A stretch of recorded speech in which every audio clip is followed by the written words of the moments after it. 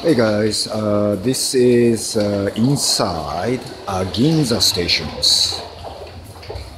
Right now it's around uh, 6 p.m.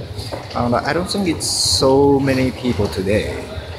Uh, the reason I'm shooting this footage is if you are a fan of the Hollywood movie, uh, do you remember the movie called Jumper? I hope it's the same title all over the world. In Japan, we call Jumper. It's a 2008 movie um, starring Hayden Christensen, also like Samuel L. Jackson.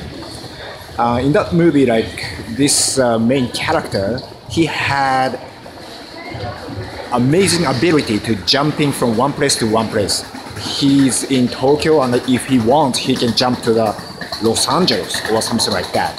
So inside here, there is a chasing scene between the main character to his enemy was shot in this Ginza stations.